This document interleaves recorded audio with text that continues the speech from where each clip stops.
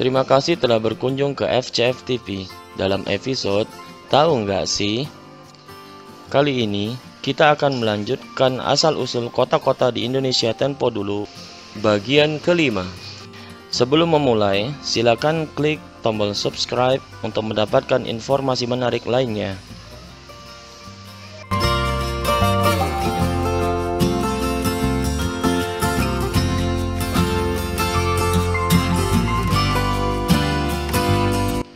Asal-usul Kota Bandung Siapa yang tidak kenal Kota Bandung? Lagu Halo-Halo Bandung selalu mengingatkan kita tentang kota ini di masa perjuangan kemerdekaan Republik Indonesia. Bandung merupakan kota metropolitan terbesar di Jawa Barat, sekaligus menjadi ibu kota provinsi tersebut. Kota ini terletak 140 km sebelah tenggara Jakarta, dan merupakan kota terbesar ketiga berdasarkan jumlah penduduk di Indonesia setelah Jakarta dan Surabaya. Dijuluki sebagai kota kembang karena pada zaman dulu kota ini sangat cantik dengan banyaknya pohon-pohon dan bunga-bunga yang tumbuh di sana. Selain itu, Bandung disebut juga dengan Parit Van Zappa karena keindahannya yang hingga kini pun masih bisa dinikmati. Belakangan Bandung juga dijuluki sebagai kota mode karena perkembangan mode cukup dinamis seiring berkembangnya gaya hidup orang-orang di kota ini. Sekarang Bandung menjadi salah satu kota favorit bagi tujuan wisata, khususnya di Jawa dan sekitarnya. Kalau kita melihat ada sejumlah bangunan tua dan bersejarah di Bandung, kota ini memang punya peranan besar dalam sejarah perjuangan kemerdekaan Indonesia. Sejak pemerintahan kolonial Hindia Belanda berkuasa, Kota ini mulai dijadikan kawasan pemukiman. Gubernur Jenderal Belanda waktu itu Herman Willem Daendels mengeluarkan surat keputusan pada 25 September 1810 tentang pembangunan sarana dan prasarana untuk kawasan ini. Di kemudian hari, peristiwa ini diabadikan sebagai Hari Jadi Kota Bandung. Bandung secara resmi mendapat status Geminte, kota, dari Gubernur Jenderal J.B. Van Hels pada 1 April 1906 dengan luas wilayah waktu itu sekitar 900 hektar dan bertambah menjadi 8.000 hektar pada tahun 1949 sampai terakhir bertambah menjadi luas wilayah saat ini. Pada masa perang kemerdekaan pada 24 Maret 1946 sebagian kota ini dibakar oleh para pejuang kemerdekaan sebagai bagian dalam strategi perang waktu itu Peristiwa ini dikenal dengan sebutan Bandung Lautan Api dan diabadikan dalam lagu Halo Halo Bandung. Selain itu, kota ini kemudian ditinggalkan oleh sebagian penduduknya yang mengungsi ke daerah lain. Pada 18 April 1955, di Gedung Merdeka yang dahulu bernama Concordia, yakni di Jalan Afrika sekarang, berseberangan dengan Hotel Savoy Homan. Diadakan untuk pertama kalinya konferensi Asia Afrika yang kemudian kembali KTT Asia Afrika 2005 diadakan di kota ini pada 19 hingga 24 April 2005. Lantas dari mana asal muasal nama kota Bandung? Ada yang mengatakan berasal dari kata bendung atau bendungan karena terbendungnya sungai Citarum oleh lava gunung Tangkuban Perahu yang kemudian membentuk telaga. Telaga itu lalu dijadikan tempat pemukiman penduduk yang dari tahun ke tahun terus bertambah populasinya hingga membentuk suatu komunitas besar alias masyarakat. Mereka kemudian menamakan tempat tinggal itu dengan sebutan Bandung, hingga akhirnya menjadi nama populer kota Bandung. Versi lain yang didasarkan pada mitologi atau legenda menyebutkan bahwa kata Bandung diambil dari sebuah kendaraan air yang terdiri dari dua perahu yang diikat berdampingan yang disebut perahu Bandung yang dipakai oleh Bupati Bandung R.A. Wiranata Kusuma II berkuasa sejak 1794 hingga 1829 untuk mengarangi Sungai Citarum dalam mencari tempat kedudukan kabupaten yang baru sebagai pengganti ibu kota lama di Dayeh Kolot. Dari situlah kemudian lahir nama bagi kota Bandung.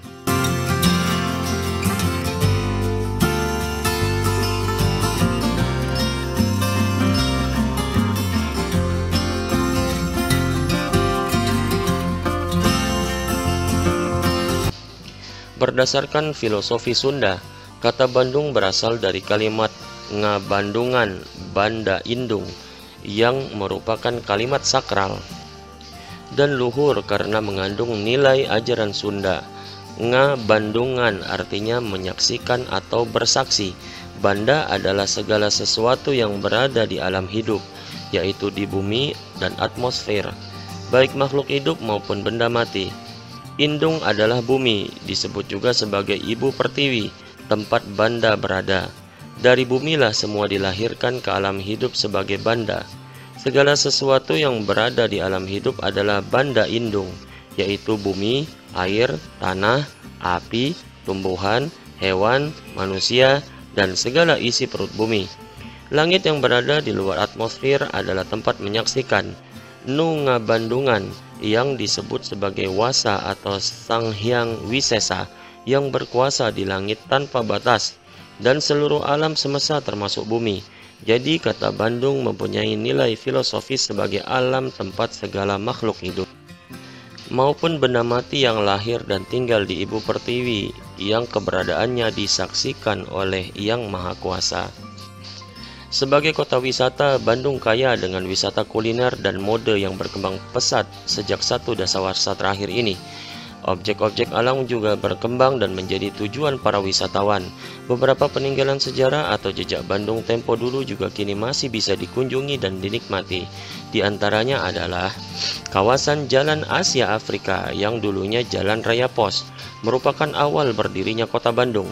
Di sinilah tahun 1810 Gubernur Jenderal Hindia Belanda Herman Willem Daendels menancapkan tongkat di satu titik di sisi De Groot Postweg. Titik itu kemudian dikenal dengan nama Kilometer Nol. Dendels pun membujuk Bupati Bandung ke-6 Raden Wiranata Kusuma II untuk memindahkan ibu kota Bandung dari Karapyak 16 km selatan Bandung ke lokasi alun-alun sekarang ini. Kilometer 0 letaknya tak jauh dari pelataran Hotel Grand Pranger. Kemudian Hotel Savoy Homan adalah hotel pertama di Bandung. Hotel ini awalnya dimiliki dan dijalankan oleh keluarga Homan dari Jerman. Bermula dari bangunan bambu, hotel itu kemudian direkonstruksi ke gaya neogotik romantik yang sedang populer kala itu. Pada tahun 1939, A.F. Albers ditugaskan mendesain ulang ke gaya streamline Art Deco. Hotel ini juga menjadi tempat penginapan pemimpin Asia dan Afrika saat konferensi Asia Afrika diselenggarakan di Bandung tahun 1955.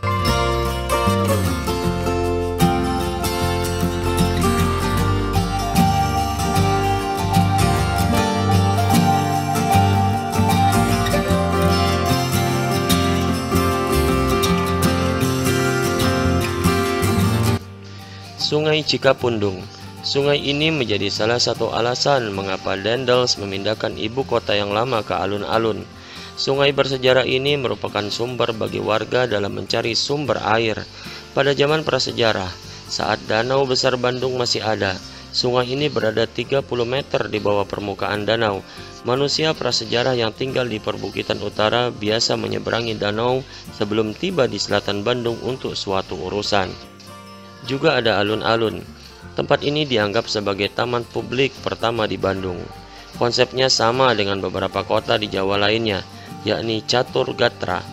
Di sebelah selatan ada rumah pendopo sebagai pusat pemerintahan. Sebelah barat ada tempat peribadatan monumental Masjid Agung.